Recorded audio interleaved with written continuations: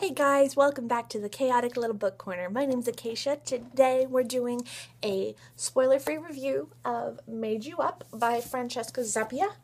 And oh, I I gave this five stars. I am not a YA person, but this didn't feel YA to me. It felt beautiful and wonderful. So young girl suffers from schizophrenia, which is rarer that she's suffering from schizophrenia at the age that she is because she begins to suffer from it, um, I believe, around seven or eight. And one of the severe symptoms of schizophrenia is a hallucinations. Not a hallucinations, but hallucinations. And uh, in the first page or two, you realize that she, um, so in the first chapter, she is, I believe, seven or eight and she's at the grocery store. And she is looking at the lobsters, and she has a full conversation with a gentleman who lifts her up, and she crawls in and lets all the lobsters go free. Now, there was actually never a guy there, period.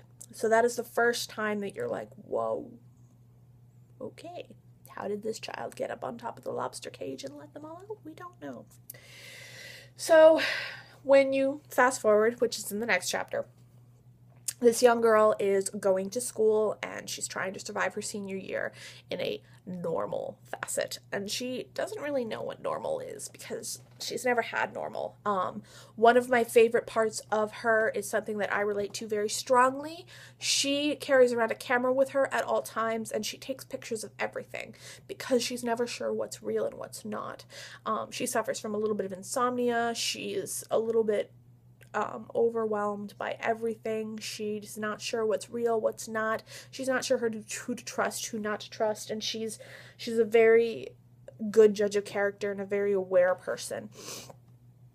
Um, she struggles with a gentleman named Miles, partially because he's a little bit of a tool, and partially because he reminds her of the boy from the lobster tank. So she thinks she's imagining him. This book was beautiful, wonderful. If you like Wes Anderson films, I would recommend this. The characters reminded me a lot of that Wes Anderson kind of feel.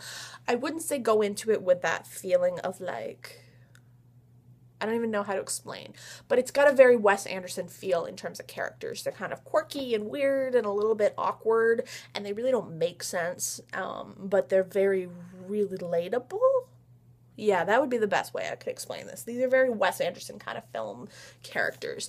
Um, and I really loved it. And there's and there's so much beauty behind this. And the writing is very simple.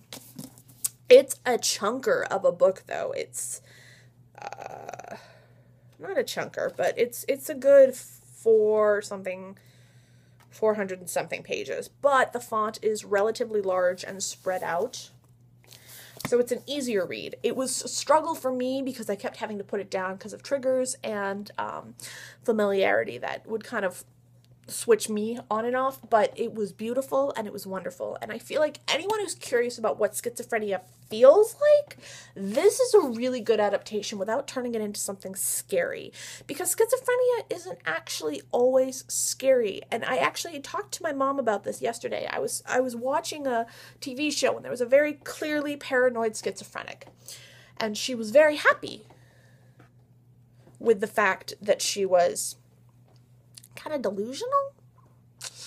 And uh, I apologize if you saw me moving my hands up here. Um, I had a pop up show up on my phone telling me that I had to be somewhere, but I can't because it's snowing, so I can't go anywhere. But anyway, um, yes, delusional. So she, the character that I was watching in this TV show was very happy. Um, but she was talking about aliens and things abducting her and people hurting her and but she was still happy. And my mother was like, Well, she can't be schizophrenic. She's happy. And I was like, Mom, I don't think all schizophrenics are afraid of their their visions, their hallucinations. I think after a while some of them just accept it and move in. Um, I could be wrong, but I've I've talked to some people who are schizophrenic, and and some of them are very comfortable and a little more comfortable actually um, with these colors or or feelings that they have and see when they're in. And yes, I said they feel they see feelings because they feel they do. Um, they're very much more comfortable knowing that the crazy is there because it's familiar. And so when she starts to become normal in the world, she doesn't know how to handle it because she's never known normal. And I think I would feel the same way and that's why this book was so wonderful to me is I don't know what it would feel like to be normal. I've never had that experience.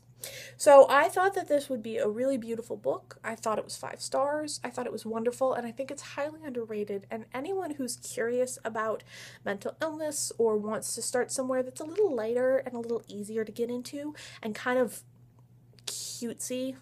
I don't want to use that word because it really was a good depiction of it and it really gives it justice, but it doesn't do it in a scary way. Think this is a beautiful place to start. So this is Made You Up by Francesca Zappia, and it was a five-star read for me, and I highly recommend it. Thank you guys so much, and I will see you in my next video. Bye.